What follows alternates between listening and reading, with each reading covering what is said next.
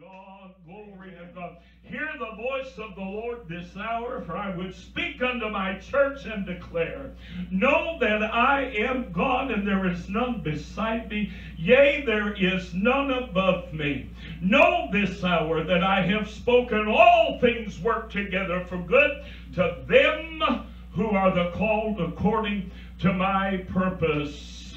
I am doing a work at this hour. I have a plan. There is nothing outside of my design. I know what I am doing, and you must trust me. Know this hour that I am working for the better of my people. I am working for the better of my church.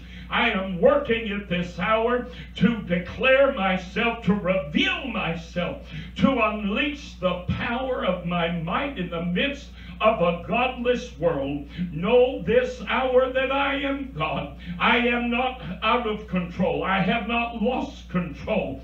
I remain at the helm this hour, and all that would occur I am doing, saith the Lord. Be at peace, for I, the Lord thy God, am in control. Hallelujah.